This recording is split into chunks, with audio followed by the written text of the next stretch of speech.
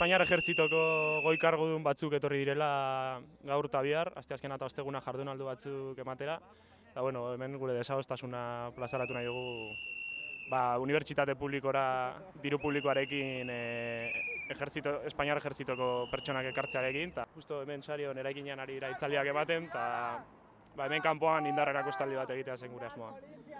Hori, lehen esan bezala, ba, kontuan hartuta ejerzitoak izan duen papera Espainiako historian ez, ba, Marruekosen, e, estatu kolpean, e, lehen esan bezala gaizki deituriko trantsizioan ejerzito horren garbiketarik etzen egon, gerora tejeroren golpea, eta halako ba, ezaguna da hemen oso ejerzitoak, ejerzitoaren papera eta ejerzitoaren jokabidea.